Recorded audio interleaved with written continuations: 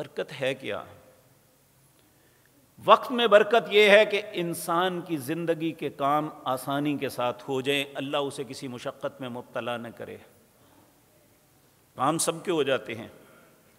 लेकिन एक वो है जिसका काम इंतहाई मुशक्क़त के बाद होता है, एक वो है जिसका अल्लाह आसानी से कर देते हैं, जिसका आसानी से हो गया, अल्लाह ने उसके काम में बरकत डाली। जिसे वक्त मिल जाता है आप देखें कितने लोग हैं जिनके पास नमाज़ के लिए वक्त नहीं है। अल्लाह ने उनके वक्त से बरकत छीन ली। लेकिन कुछ ऐसे खुश नसीब हैं जो पाँच वक्त नमाज़ पढ़ते हैं, अल्लाह ने उनके वक्त में बरकत डाल दी, वो नमाज़ भी पढ़ते हैं, कारोबार भी हो जाता है। लिए जजिया अहसन मामिलू जो पाँच वक्त नमाज़ पढ़ता है, अपने वक्त पे अल्लाह का हुक्म की इतात में जाता है, अल्लाह फरमाते हैं, जो बहुत अच्छा काम किया है, मैं इसका बदला दूँगा।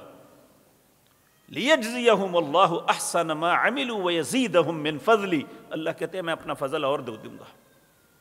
वल्लाशाह बग़ैर हिसाब। रिजक अल्लाह के पास है, जिसको चाहता है, बग़ैर हिसाब के दे देता है। एक हदीस में रसूलुल्लाह ने फरमाया, मेरे रब ने कहा कि अगर मुझसे कुछ चाहिए तो मेरी नाफरमानी से नहीं मिलेगा, मेरी फर्मा बरदारी करो। और उसके हसूल के लिए हमें क्या करना है? सबसे पहली बात जो मैंने अर्ज़ की है, वो दुआ है। हम बरकत के हसूल के लिए अल्लाह से दुआ करें। ए अल्लाह, जो तूने मुझे रिजक दिया है, इसमें बरकत अता फरमा। नबी करीम की दुआ यही थी अल्लाह मकन्नी बिमा रज़क़तनी वबारिकली फ़ी वखलुफ़ अला कुल्लिफ़ातम बखैर.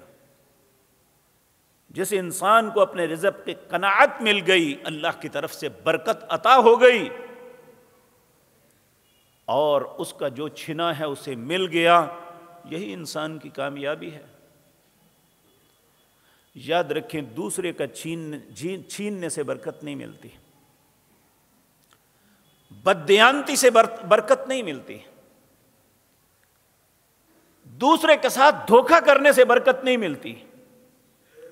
झूठ बोल के सौदा बेचने से बरकत नहीं मिलती। अल्लाह रब्बुल इज़्ज़त हम पे रहम फरमाए।